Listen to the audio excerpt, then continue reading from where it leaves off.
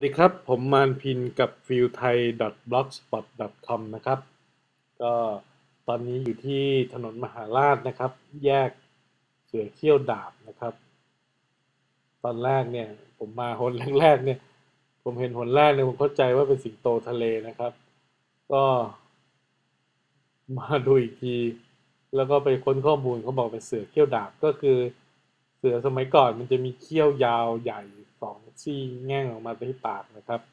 แล้วก็มีการค้นพบซากในในแอ่งถ่านหินที่นี่นะครับ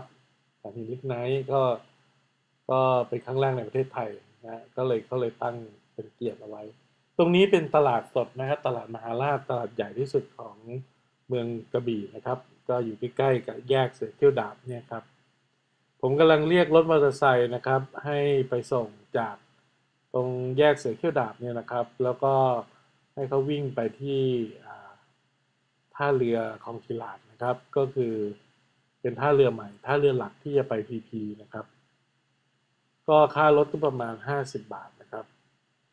นี่ครับตลาดสดด้านบนมีที่จอดรถด้วย ก็ท่าเรือเนี่ยมันจะอยู่อีกฝากหนึ่งของเมือง ก็คืออยู่ตรงกันข้ามกันระหว่าง ท่าเรือเจ้าฟ้าเดิมนะฮะดังนั้นเนี่ยเวลาเรียกรถจากตรงไหนในเมืองกระบี่เนี่ย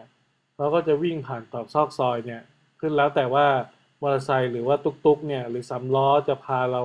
ออกไปทางไหนนะครับจะลัดเลาะแค่ไหนอันนี้ก็ตามตามตามสะดวกแล้วแต่ประเภทของรถนะฮะก็ค่าใช้จ่ายก็ตีไว้ประมาณคนละห้าสิบบาทครับ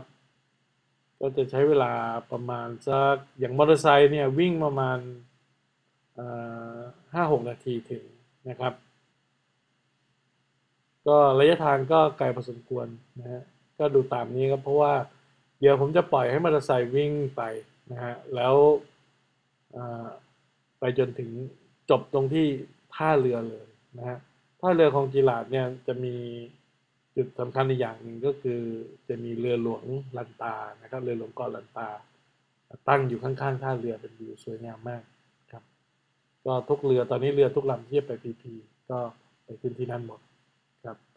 ผมปล่อยให้มอเตอร์ไซค์วิ่งไปนะครับ ส่วนเสียงเนี่ยผมตัดออก เพราะว่าเสียงลมเนี่ยดังมากๆนะครับ เดี๋ยวจะ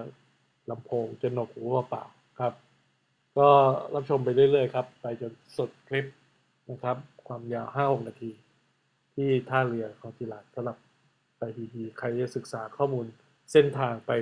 พีพีครับ